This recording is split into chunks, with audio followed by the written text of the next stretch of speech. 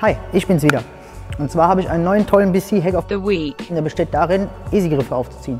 Die meisten Leute von euch kennen ja die Probleme, diese kleinen Griffe auf die wunderschönen Carbonlenker zu ziehen. Ich habe da mal was vorbereitet. Und zwar habe ich mir hier den Griff genommen und habe einfach vier Kabelbinder eingezogen und hinten einfach zusammen gemacht, damit die Position der Kabelbinder da ist, wo sie ist. Und dann kann man das auch schon aufschieben.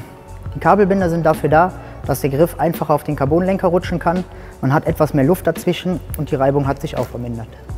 Jetzt ziehen wir die Kabelbinder noch einmal in die richtige Position, die verrutschen immer sehr gerne.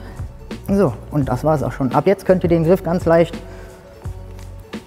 ohne irgendwelche Lösemittel oder sonstigen Probleme, auf euren Carbonlenker schieben. So, und schon sitzt euer Griff. Das, was ihr jetzt noch zu tun habt, ist ganz einfach. Ihr schneidet die Kabelbinder hier vorne ab und könnt die dann mit einem Handgriff einfach locker drunter rausziehen. Und voilà. Das war die Montage eines Easy-Griffs, ganz ohne Lösemittel und ohne Probleme.